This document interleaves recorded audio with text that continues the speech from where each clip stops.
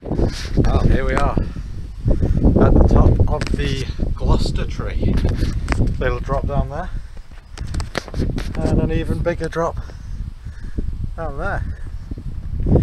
53 metres.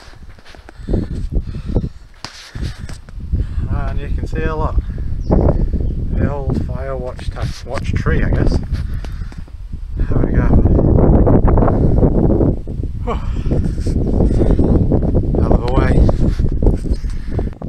person.